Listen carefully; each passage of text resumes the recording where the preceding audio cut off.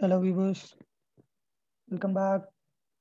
In this video, we are going to be learning SSL certificates. What are the information available in the SSL certificate and what are the information we have to check in the SSL certificate. So this is an SSL certificate. Uh, I'm going to open the certificate. Here you can see handshake protocol certificate. So I'm going to open the certificate. Okay, okay here open this opened the certificate. Here the handshake type certificate. The length of the certificate is 2146. Then certificates. The actual length of the certificate is, certificate is 2143. Now I'm opening the certificates. Here we can see we have two certificates. The first one is the leaf certificate. The first one is the leaf certificate. So this certificate is called leaf certificate and this certificate is called the intermediate certificate. This certificate, second certificate is called intermediate certificate. So leaf certificate and intermediate certificate. Now I'm going to open the leaf certificate. Okay, here is the leaf certificate. I'm going to open the certificate. Here I can see some information is encrypted. Okay, I'm going to open the signed certificate. Okay, here you go, signed certificate. Okay, signed certificate, the version, the certificate version is three, then serial number. So version and serial number, these are not, so these are not important. Next, signature, here is the field we have to look into it. Here is the signature is show 384 then algorithm ID. This is the signature algorithm used to sign the certificate. Next issuer, so you can see who is the issuer of this certificate.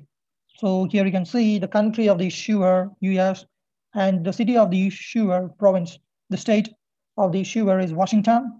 Then the locality name, Redmond, and the organizational name, Microsoft, and common name is Microsoft ECC Content Distributions Secure Service. So he is, it is the receiver, which is Microsoft Corporation. So I can trust the receiver, sorry, issuer. So the issuer is legitimate. He, Microsoft Corporation is the valued receiver. So I can trust the certificate. Then the validity here, even though the certificate is legitimate, we have to check the validity of the certificate so here you can see from 2020 to 2021, from 10, 12 to 10, 12. So this certificate is valid because the date of today's date is 27 for 2021, which is between the dates. Okay, so this certificate is valid. Next, subject sequence. Here you can see the subject sequence. It tells about the issuer and the certificate information for what the certificate is used for and why the certificate is used for, okay, and the purpose of the certificate and the issuer. Here you can see the same information as available as you show in the issuer field. You can see here, same information available here. The issuer's country, US and state, Washington and the locality, Redmond, organization name, Microsoft, organizational unit name, DSP, and common name uh, is the website name, domain name. Then relative distinguished name. Okay, here you can see the organizational unit name, just string. So these are the information. So subject is about the purpose of the certificate or the usage of the certificate. Then subject public key information. So these are the public key information of the certificate. So the server has to register this certificate. So this is the registered public key of the server. So this is the public key of the server, which is re registered uh, in the certificate authority. So the certificate authority has uh, attached the public key with the certificate so anybody can see the public key of the certificates, so the server. Next, the extension field it tells about the usage of the key and subject key identifier. So these are the extension field tells defines. Next algorithm identifier, the algorithm used to encrypt the data. Next, the, the intermediate certificate, signed the certificate, where you can see the signature,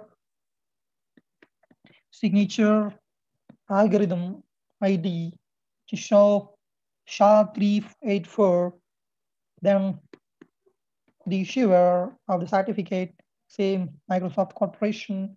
So valid issuer, then validity between 2018 to 2033. So validity is a valid certificate. Then subject information, same information about the issuer, the certificate. Then subject key information. Here you can see the public key of the certificate. Then algorithm identifier, the algorithm used to encrypt the data. So here you can see the encrypted message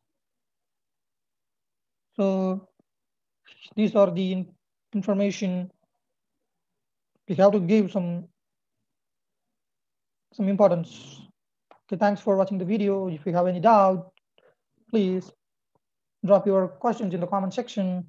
And thank you. See you later.